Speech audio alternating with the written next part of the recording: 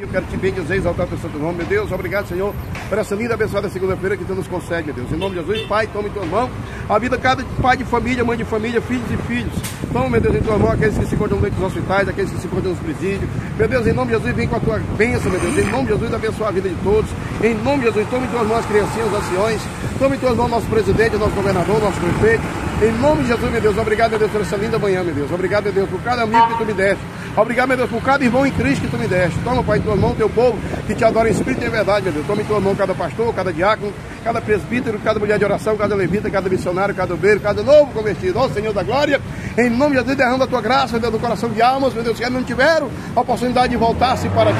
Meu Deus, em nome de Jesus, toma em tua mão a vida de cada um, ser com cada um da vitória. E aquele crente, meu Deus, que um dia, meu Deus, estava na tua casa, te adorando, te glorificando, exaltando teu santo nome, mas que um dia, Senhor, saiu da tua presença, Senhor. Ó Senhor, toca no coração dele nessa manhã. Traz ele de volta ao aprisco, meu Deus, que ele venha, meu Deus, reconhecer que tu és Senhor, tu és Deus, tu és piedoso, tu és misericordioso, tu és justo. Meu Deus, em nome de Jesus, abençoa a vida de todos, seja com cada um de nós. Assim, Senhor Deus, que eu oro crendo, em nome do Pai, do Filho e do Espírito Santo.